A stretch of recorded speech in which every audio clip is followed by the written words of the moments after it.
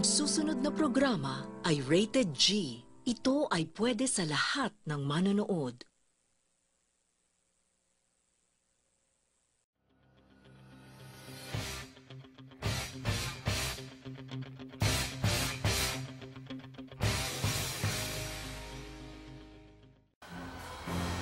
Welcome back, the University of the Philippines!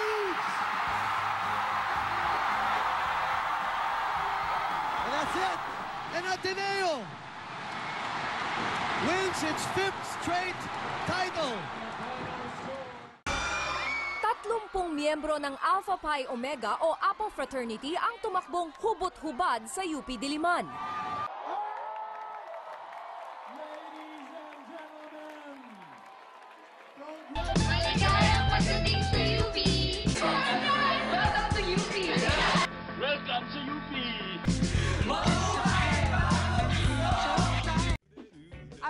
To the Ateneo. I go to the Ateneo. I go to the Ateneo. And I go to the Ateneo. Ano, and Antonio. Nice to meet you. Ang Quezon City ay isang lungsod na talaga namang may pagmamalaki sa lahat. Ito ay tampok sa iba't ibang mga establishmento, mga kainan, malls at mga ahensya ng pamahalaan. Ngunit higit pa rito, may dalawang universidad na talaga namang may pagmamalaki sa lahat. Ang dalawang universidad na ito ay matatagpuan sa lungsod ng Quezon. Ang universidad na aking tinutukoy ay walang iba kundi ang University of the Philippines at Ateneo de Manila University. Sa pagkakataong ito, samahan niyo ako at ang aking partner na si Claire Grahencian at tuklasin natin ang kwento sa likod ng buhay ng isang isko at isang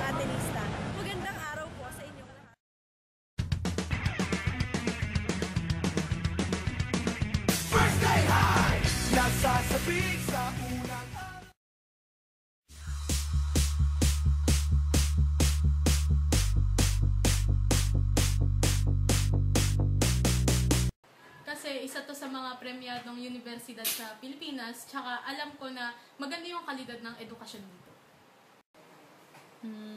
Kasi um, mataas yung kalidad ng edukasyon sa universidad na to. Kahit kulang na kulang yung budget na binibigay ng gobyerno. Para din kasi itong paghahanda sa totoong buhay pagkatapos ng kolehiyo. Kasi tinuturuan ka dito paano tumayo sa sarili mong mga paa, paano paglaban karapatan, magulang ko. Oo, kasi ano, parang minsan lang kasi makapasa doon, parang achievement talaga yun. Parang, yun.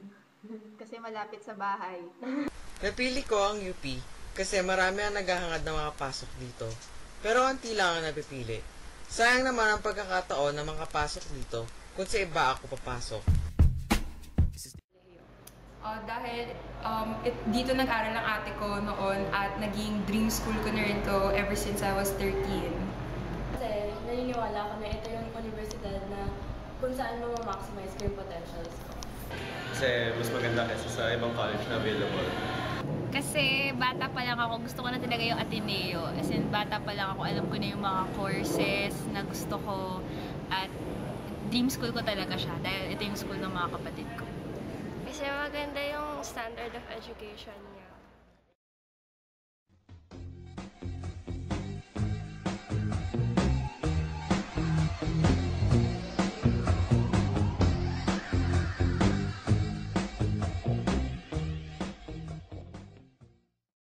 Welcome to School Wars.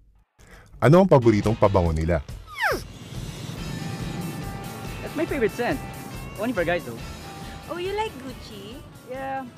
But I'm using book. Nagso na lang, solve na! Guys, bounce. Let's go. After gimmick, syempre masarap mag-food trip. Saan ba masarap ang burger?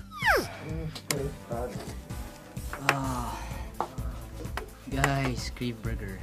No, I want Wendy. McDonald's na tayo. Angel's Burger na lang para buy Sila one take. magpayabangan ng graduates. You know what, guys? I think I'm perfect for this position. Sus! Mga UP graduates nagiging presidente. Rojas, Quirino, Laurel, Garcia, Marcos at iba pa.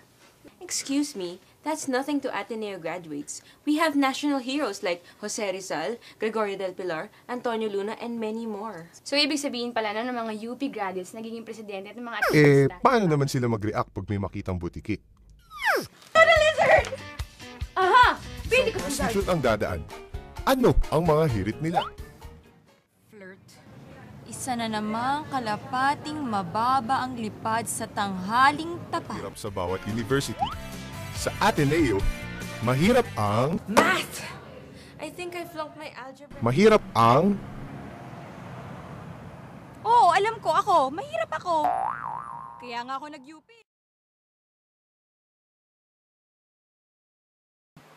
Palagi namang may stereotype, stereotype sa bawat paaralan o universidad eh.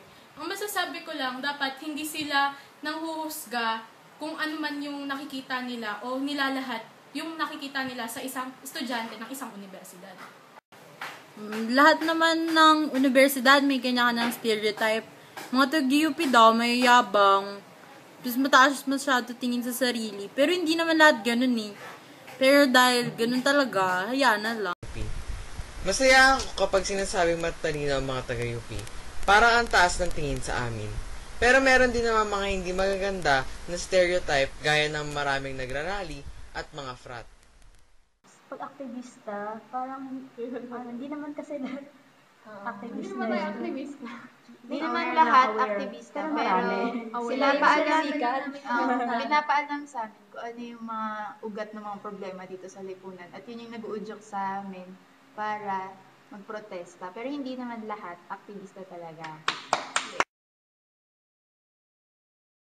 Um, number one stereotype is being konyo or mayabang and being elitist or mataas ang tingin sa sarili. Dalas na sinasabi na mga, ang mga taga-Ateneo ay mayayabang at mga konyo. Sobrang totoo. Sobrang.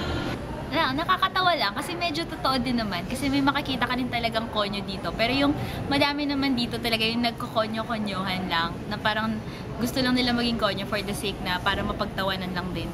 Minsan totoo naman, pero at most times hindi naman siya totoo. Depende kasi sa tao at saka yun na meet mo sa school.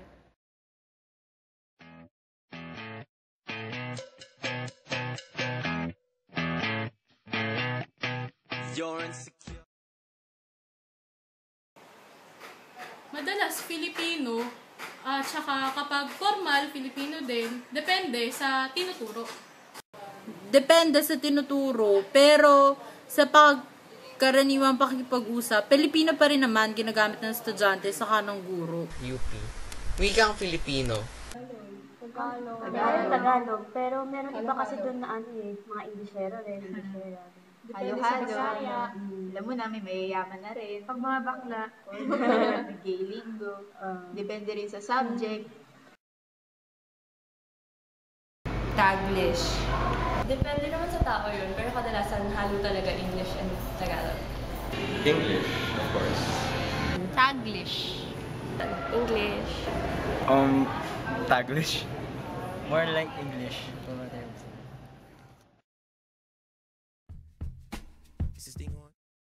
Sikmura, hindi gagana ang utak. Kaya naman sa ating mga eskwelahan at universidad, maraming masasarap na kainan na dapat ang presyo abot kaya ng mga estudyante. Ang University of the Philippines Diliman, maliban sa sikat nilang mga isawan, ang isa pa nilang pambato, isang kainan na anim na dekada nang bumubusog sa mga iskolar ng bayan. Ang Rodix since 1949. Yun pa rin yung itsura niya. Ateneo sa Katipunan, Quezon City. Isang pangmeryendang pagkain ang pamilyar na pamilyar. Ang Shelos Donut.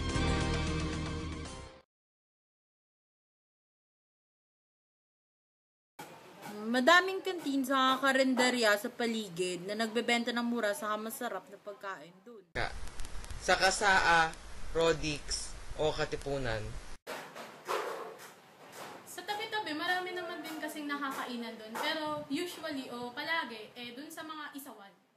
Kasa, kasa, kasa, sa kantin. Kami RQBT kasi yun yung malapit sa RQ. Kantin ng mga building. Iba-iba per college. Yung mga kills.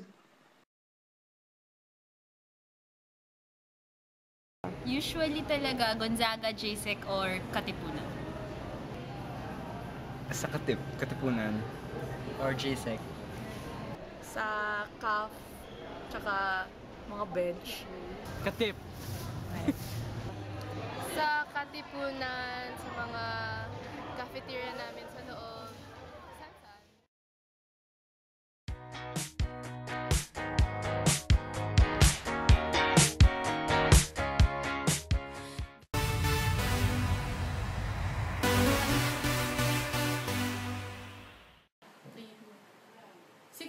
sa isang linggo.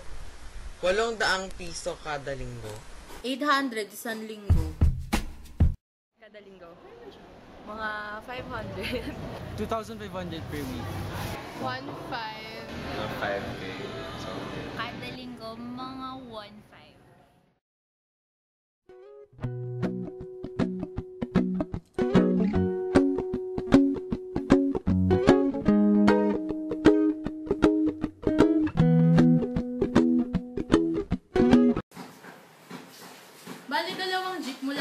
bahay namin.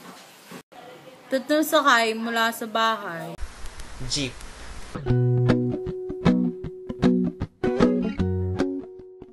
Hinahatid ako ng mom ko.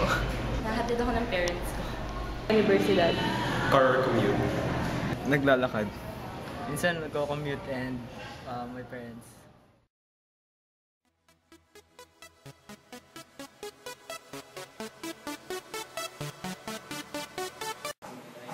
Madalino. Matatapang, matatalino, at syempre, maabilidad. Sila ay konyo, burgis, at matatalino. Usually, oh, Medyo mayaman. Ayun, mayaman.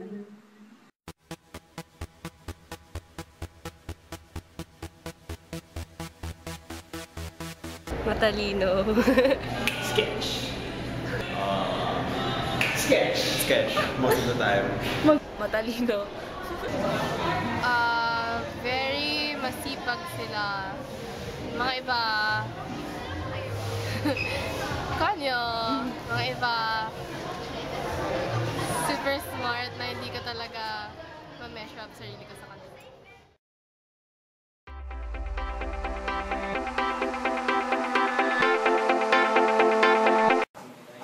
Madalino.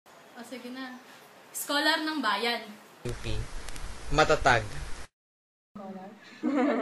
Astig. Pero sa akin, loyal. Scholar ng bayan. Naglilingkod sa bayan. Scholar ng bayan.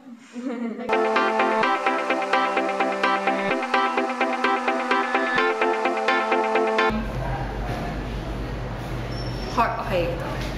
Hardworking. Persevering. Hindi sketch. Ah, Magis.